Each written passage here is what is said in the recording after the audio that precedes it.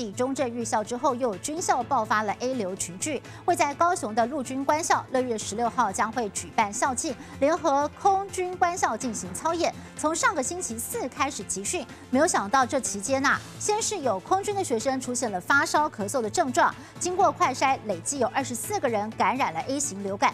后来啊，就连陆军官校的学生也陆续有十五个人跟着染疫，就家长投诉了，学校在第一时间竟然没有公布疫情，毫无作为。不过对此呢，校方也澄清，一切依照防疫规定，也确实有向卫生局通报。位于高雄的陆军官校，原本学生为了这周五的校庆，联合空军正在加紧脚步集训，没想到现在却传出校园里爆发 A 流群聚感染。本校目前确诊的人数为十五人，那都已经返家休养。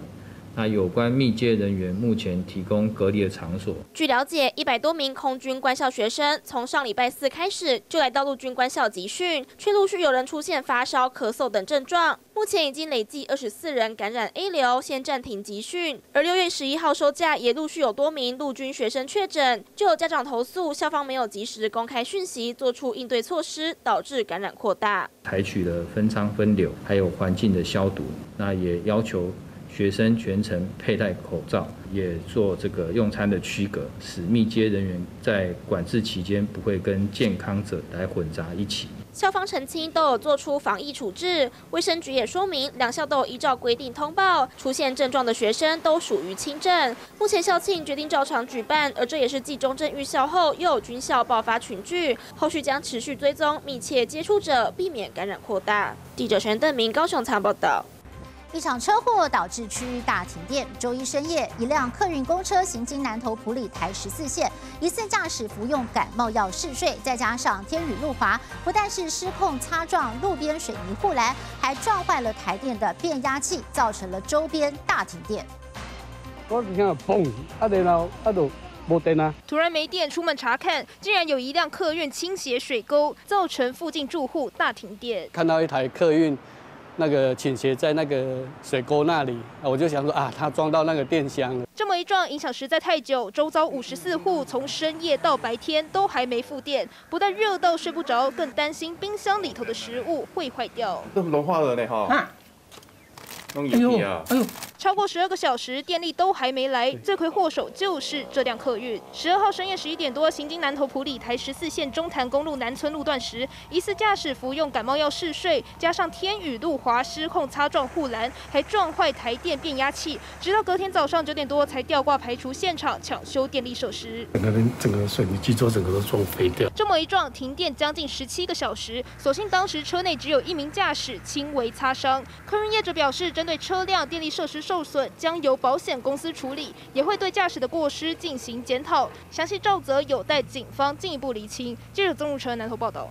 屏东降雨也是相当有感，往返东港小琉球的交通船，旅客搭船像是在搭海盗船一般。小琉球还出现了雨瀑布，海上一度出现了救生筏，幸好是虚惊一场。而另外在垦丁地区，浪高超过两米，沙滩插红旗，禁止下水。一波又一波，船身上下摇晃，船舱里游客惊呼声不断。海上航行像在打海盗船，有人觉得刺激，但实在晃啊，也有游客受不了，晃到晕船。头靠着椅背挺过去。搭船的状况，风浪算蛮大的哦，还有客人有吐的。受滞留封面影响，小琉球甚至出现雨瀑布，大雨轰炸，像瀑布从天而降，壮观震撼。外海则是出现一颗救生筏。我要先让我点救生筏。橘色充气救生筏海上漂，民众心惊，是谁需要紧急救援？巡防艇赶到，确认里头没人，追出这救生筏是交通客船遗落，请业者后续领回，虚惊一场。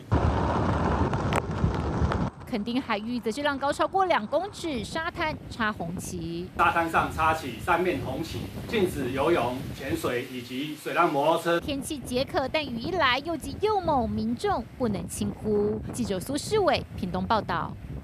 不当使用油具导致脚被夹伤，有一名家长带着十岁的儿子到云林的金瓜鼠乐园玩，却被油具夹断了左脚胫骨。家长很生气，质疑公所没有设置警告看板。不过对此呢，公所也解释了，现场有设置告示，不能够做出危险动作，而且调阅了监视影器，发现是小朋友不断的剧烈摇晃才会受伤。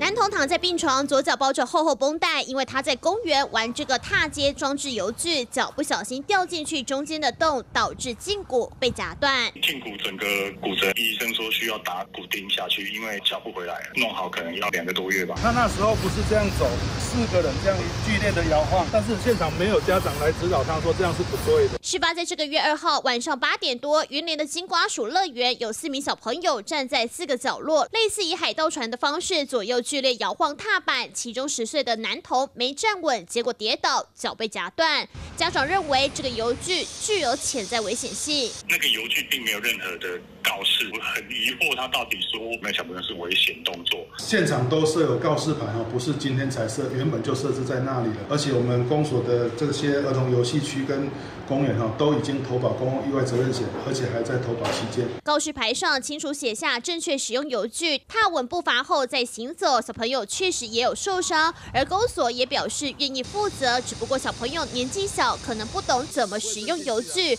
为了避免意外风险，最好还是要有家长在一旁陪同。记者郭俊义，原来报道。高雄有一台小货车日前排队下台八十八线交流道哦，结果呢就遭人检举违规使用路肩，结果是被罚了四千元。消息一出啊，开罚之后的上班日，民众全部都改在主线上排队，却造成了大回堵将近五公里，快速道路俨然变成了大型停车场，甚至还有驾驶目击警车也曾经压路肩行驶。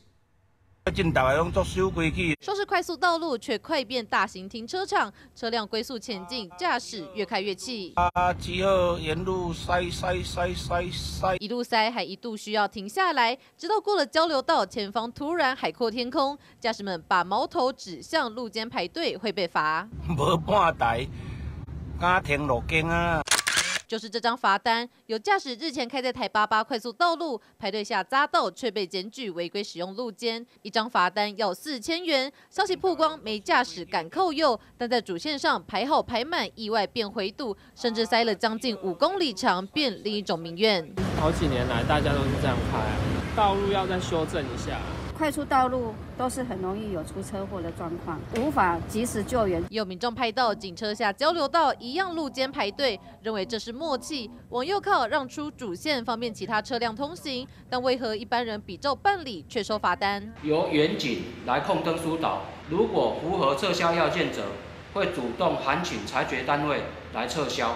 台八八交流道车流量大，但道路过窄，一张罚单让交通困境浮出台面。警方松口，严拟撤单，先导入动态后置控制，弹性调整红绿灯时间长度，也会参考国道适度开放路肩通行，疏解车流。记者陈培君、徐宣荣高雄报道。